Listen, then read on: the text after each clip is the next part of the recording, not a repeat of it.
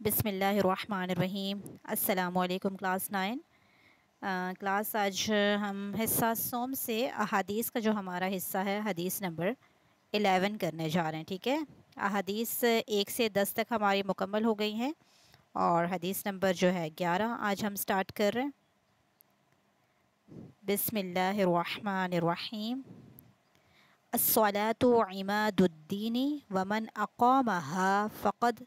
अक़ामद्दीन वमन हदमहा फ़क़द हदमद्दीन ठीक है तर्जुमा क्या है नमाज़ दीन का सुतून है जिसने इसे कायम किया इसने गोया दीन को कायम किया और जिसने इसे ढाया तो इसने गोया दीन को ढाया ठीक है अब सबसे पहली बात कि इस हदीस मुबारक के अंदर नमाज़ की अहमियत बयान की गई है, ठीक है? इसमें क्या कहा गया है कि नमाज़ दीन का सुतून है, यानी दीन को एक इमारत से तशबी दी गई है, ठीक है? दीन को क्या, दीन, नमाज़ दीन का सुतून है तो दीन को एक इमारत से तशबी दी गई जिसका सुतून नमाज़ है, ठीक है? जिस तरह से एक कोई भी इमारत सुतूनों पे खड़ी होती है, सुतून के बगैर खड़ी नहीं रह सकती तो जिसने इस सुतून को कायम किया गोया इसने दीन की इमारत को कायम रखा। यानी जो इसको कायम करेगा तो दीन की इमारत कायम रहेगी और जिसने इस सुतून को गिरा दिया तो इसने गोया पूरे दीन ही की इमारत को ढा दिया। तो इस हदीस मुबारक से नमाज़ की अहमियत जो है वो वाज की गई है कि हर मुसलमान के लिए रोज़ाना पाँच मरतबा ईमान के इम्तहान का मौका आता है। यानी पाँच मरतबा उसको अल्लाह ताला की तरफ़ से एक कॉल आती है मौज़िन जो है अजान देता है और उसको इंसान को उस पुकार पर लब्बई कहना चाहिए। तो गोया वो अपने ईमान की सदाकत की गवाही देता है। तो उसको नमाज़ कायम करनी चाहिए। ठीक है? कि नमाज़ जो है वो हमारा बुनियादी रुकन है, हमारे पाँच अरकान में से हमारा एक बुनियादी रुकन है, ठीक है? तो अरकान इस्लाम से मुराद वो बुनियादें या सुतून हैं जिस पर इस्लाम और इस्लामी ज़िंदगी की इमारत खड़ी है? जैसा कि मैंने आपको बताया कि पूरे अरकान इस्लाम ही जो हैं वो एक इमारत के सुतून की तरह हैं कि अगर हम वो पूरे करते हैं तो हमारी इमारत भी खड़ी रहती है, ठीक है? तो सबसे पहले हम देख लेते हैं कि नमाज़ के माना क्या है। नमाज़ के माना क्या है? किसी तरफ़ रुख करना, बढ़ना, दुआ करना और करीब होना, ठीक है? ये सारे इसके लफ्ज़ी माना है नमाज़ के, ठीक है? और मुख्तसरा नमाज़ पूरी तवज्जो, यकसोई और अदब व एहतराम से अल्लाह ताला को याद करने का नाम है। यानी जब हम नमाज़ पढ़ते हैं तो उसमें हम क्या करते हैं? हम अल्लाह ताला से बात करते हैं।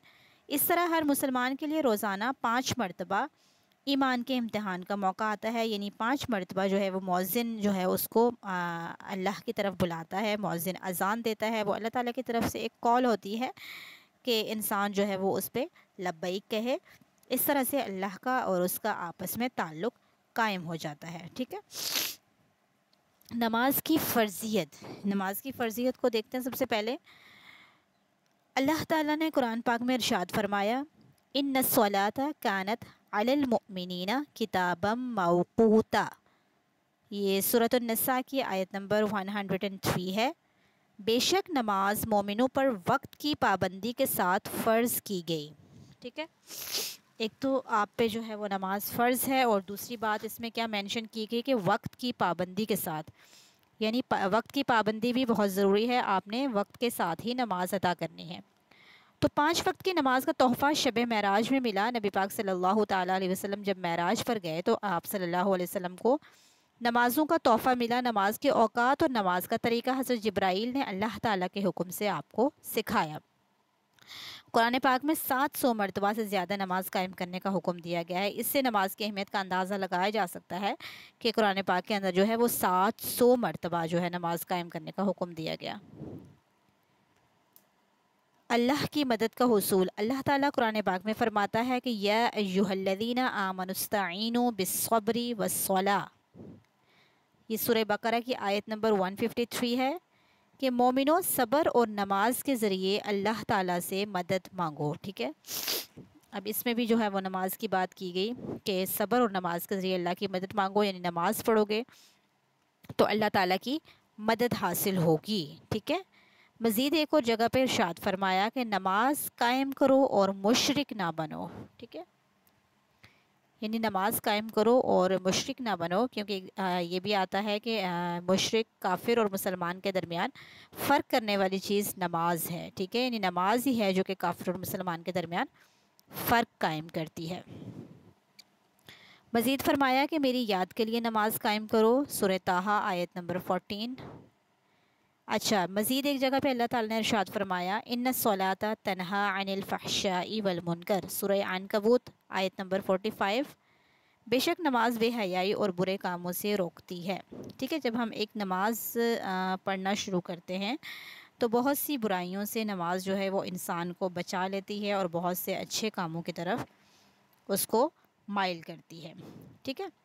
तो सुर मुदसर में है कि अहले जन्नत अहले जहन्नुम से पूछेंगे कि माँ सलका कुम फ़ी सकर तुम्हें किस चीज़ ने जहन्नुम में डाला? तो वो कहेंगे लम तकु मिन लम नकु मिनल मुसल्लीन हम नमाज़ नहीं पढ़ते थे। तो ये आ, किस कदर जो है वो आ, परेशानी वाली बात है कि जो जन्नत वाले जो लोग हैं वो जहन्नुम वालों से पूछेंगे तो वो आ, जो है एक उनको पछतावा होगा कि वो कहेंगे कि हम इसलिए जहन्नुम में हैं कि हम नमाज़ नहीं पढ़ते थे। अच्छा अब नबी पाक सल्लल्लाहु ताला अलैहि वसल्लम के इरशादात की रोशनी में जो है वो नमाज़ की अहमियत बयान की गई है। बहुत सारी अहादीस हैं जिसमें नमाज़ की अहमियत को बयान किया गया, नमाज़ के बारे में बात की गई।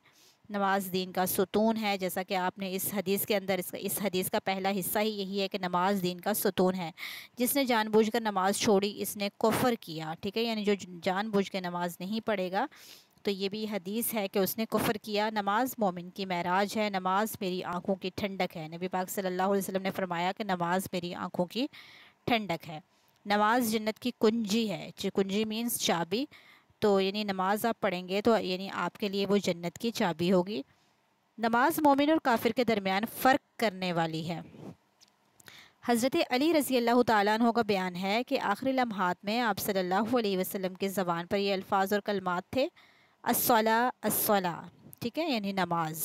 नबी पाक सल्लल्लाहु अलैहि वसल्लम ने के जो आखिरी लम्हात थे, आपके जो आखिरी अल्फाज थे, वो भी क्या थे? नमाज़। यानी नमाज़ जो है, वो बहुत ज़्यादा ज़रूरी है, बहुत ज़्यादा अहमियत की हामिल है। सबसे पहले जो है, वो नमाज़ के बारे में ही सवाल किया जाएगा और नमाज़ इंसान पे हर हाल में फ़र्ज़ है। चाहे वो बीमार है तो वो बैठ के नहीं पढ़ सकता तो वो लेट के पढ़े, वो लेट के भी नहीं पढ़ सकता तो वो इशारे से पढ़े, यानी नमाज़ किसी सूरत में भी आपको मुआफ़ नहीं है। तो क़यामत के रोज़ ही पहला सवाल जो है, वो नमाज़ के बारे में पूछा जाएगा। बंदे से सबसे पहले हिसाब जो है, वो नमाज़ के बारे में लिया जाएगा। ठीक है? तो इस पूरी हदीस में जो है, वो नमाज़ की अहमियत को बयान किया गया कि नमाज़ जो है, वो दीन का सुतून है। नमाज़ पूरे दीन को कायम रखता है। आपका जो दीन है, आपका पूरे दीन को नमाज़ कायम रखेगी। अगर आप नमाज़ को कायम रखेंगे तो आपका दीन भी कायम रहेगा। और अगर आपने नमाज़ कायम नहीं की, आपने नमाज़ छोड़ दी तो ये यकीनन आपने अपने दीन को भी ढहा दिया। ठीक है? तो ये हमारी हदीस नंबर ग्यारह थी। अब इन जो है नेक्स्ट क्लास में हम हदीस नंबर बारह स्टार्ट करेंगे। अल्लाह हाफिज़। जजाकल्ला